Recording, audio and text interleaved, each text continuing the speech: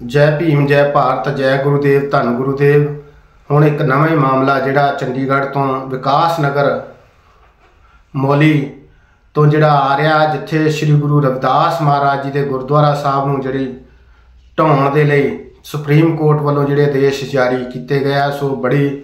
ਨਿੰਦਣਯੋਗ ਘਟਨਾ ਹੈ। ਸੋ ਇਸ ਦੀ ਜਿਹੜੇ ਵਾਲਮੀਕੀ ਐਕਸ਼ਨ ਫੋਰਸ ਪੰਜਾਬ ਤਿੱਖੇ ਸ਼ਬਦਾਂ ਦੇ ਵਿੱਚ ਨਿਖੇਧੀ ਕਰਦੀ ਹੈ ਔਰ ਮੈਂ ਸਰਵ ਸਮਾਜ ਨੂੰ ਬੇਨਤੀ ਕਰਦਾ ਕਿ ਆਪਾਂ ਜਿਹੜੇ ਸਾਰੇ ਰਲ ਮਿਲ ਕੇ ਜਿੱਦਾਂ ਜਿਸ ਤਰ੍ਹਾਂ ਉੱਥੇ ਇੱਕ ਮੀਟਿੰਗ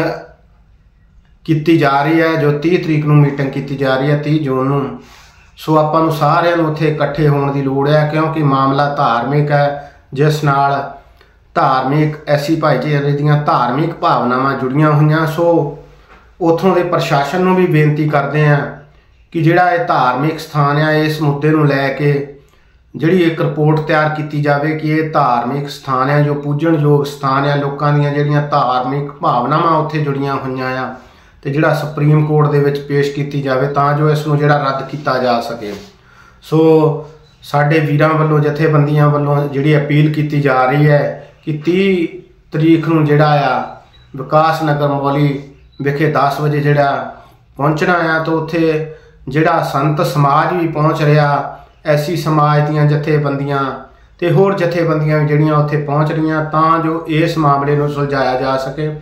ਇਹ ਜਿਹੜਾ ਸ੍ਰੀ ਗੁਰੂ ਰਵਿਦਾਸ ਮਹਾਰਾਜ ਜੀ ਦਾ ਜਿਹੜਾ ਗੁਰਦੁਆਰਾ ਸਾਹਿਬ ਆ, ਇਹ 1999 ਤੋਂ ਬਣਿਆ ਹੋਇਆ ਆ ਔਰ ਇਸ ਨੂੰ ਜਿਹੜਾ ਨਿੱਜੀ ਤੌਰ ਤੇ ਲੱਗਦਾ ਟਾਰਗੇਟ ਕੀਤਾ ਜਾ ਰਿਹਾ। ਪਹਿਲਾਂ ਵੀ ਦਿੱਲੀ ਦੇ ਵਿੱਚ ਜਿਹੜਾ ਤੁਗਲਾਬਾਦ ਦੇ ਵਿੱਚ ਜਿਹੜੀ ਘਟਨਾ ਹੋਈ ਸੀ, ਅੱਜ ਵੀ ਉਹ ਜਿਹੜਾ ਮਾਮਲਾ ਆ। ਉਸੇ ਤਰ੍ਹਾਂ ਪਿਆ ਆ ਔਰ ਹਮੇਸ਼ਾ ਐਸੀ ਸਮਾਜ ਦੇ ਮੰਦਰਾਂ ਨੂੰ, ਐਸੀ ਸਮਾਜ ਦੇ ਗੁਰਦੁਆਰਾ ਸਾਹਿਬ ਨੂੰ ਜਿਹੜਾ ਟਾਰਗੇਟ ਕੀਤਾ ਜਾ ਰਿਹਾ, ਹੁਣ ਵੀ ਜਿਸ ਤਰ੍ਹਾਂ ਉੱਥੇ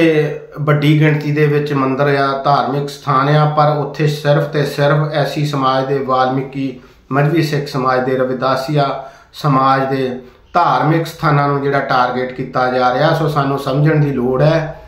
ਔਰ ਮੈਂ ਵਾਲਮੀਕੀ ਐਕਸ਼ਨ ਫੋਰਸ ਪੰਜਾਬ ਦੇ ਮਾਧਿਅਮ ਤੋਂ ਸਰਵ ਸਮਾਜ ਨੂੰ ਅਪੀਲ ਕਰਦਾ ਹਾਂ ਕਿ 30 ਤਰੀਕ ਨੂੰ ਜਿਹੜਾ 10 ਵਜੇ ਜਿਹੜਾ ਚੰਡੀਗੜ੍ਹ ਪਹੁੰਚੋ ਔਰ ਆਪਾਂ ਸਾਰੇ ਜਿਹੜਾ ਉੱਥੋਂ ਜੋ ਵੀ ਸੰਤ ਸਮਾਜ ਜਿਹੜਾ ਫੈਸਲਾ ਲਊਗਾ, ਸੋ ਆਪਾਂ ਉਹਨਾਂ ਦੇ ਦਿਸ਼ਾ ਨਿਰਦੇਸ਼ਾਂ ਤੇ ਚੱਲਣਾ ਹੈ ਔਰ ਜਿਹੜੀਆਂ ਇਸ ਤਰ੍ਹਾਂ ਦੀਆਂ ਹੋ ਰਹੀਆਂ ਬੇਅਦਬੀਆਂ ਨੂੰ ਜਿਹੜਾ ਰੋਕਣਾ ਹੈ, ਕਿਉਂਕਿ ਇਸ ਦੇ ਨਾਲ ਪੂਰੇ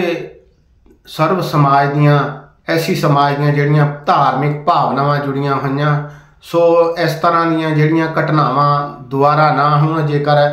ਆਪਾਂ ਇਹਨਾਂ ਨੂੰ ਰੋਕਿਆ ਨਾ, ਤਾਂ ਇਹ ਬਾਰ-ਬਾਰ ਜਿਹੜੀਆਂ ਇਸ ਤਰ੍ਹਾਂ ਦੀਆਂ ਘਟਨਾਵਾਂ ਹੋਣਗੀਆਂ।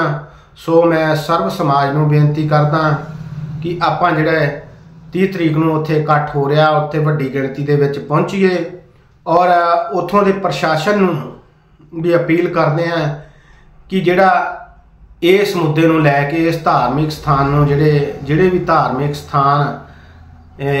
ਇਸ ਟਾਰਗੇਟ ਤੇ ਆ ਕਿ ਇਹਨਾਂ ਨੂੰ ਢਾਇਆ ਜਾਣਾ, ਉਹਨਾਂ ਦੀ ਜਿਹੜੀ ਇੱਕ ਰਿਪੋਰਟ ਤਿਆਰ ਕਰਕੇ ਜਿਹੜੀ ਹੈ ਸੁਪਰੀਮ ਕੋਰਟ ਦੇ ਵਿੱਚ ਪੇਸ਼ ਕੀਤੀ ਜਾਵੇ ਕਿ ਇਸ ਨਾਲ ਧਾਰਮਿਕ ਭਾਵਨਾਵਾਂ ਜਿਹੜੀਆਂ ਆਹਤ ਹੋ ਰਹੀਆਂ ਤੇ ਉੱਥੇ ਕੋਈ ਇਸ਼ੂ ਕ੍ਰੀਏਟ ਹੋ ਸਕਦਾ। ਇਸ ਕਰਕੇ ਜਿਹੜਾ ਆ, ਸਾਨੂੰ ਜਿਹੜਾ ਬੜੀ ਮਸਤੈਦੀ ਦੇ ਨਾਲ ਉੱਥੇ ਜਿਹੜਾ ਮੀਟਿੰਗ ਕਰਕੇ ਇਸ ਮਸਲੇ ਨੂੰ ਹੱਲ ਕਰਾਉਣਾ ਚਾਹੀਦਾ।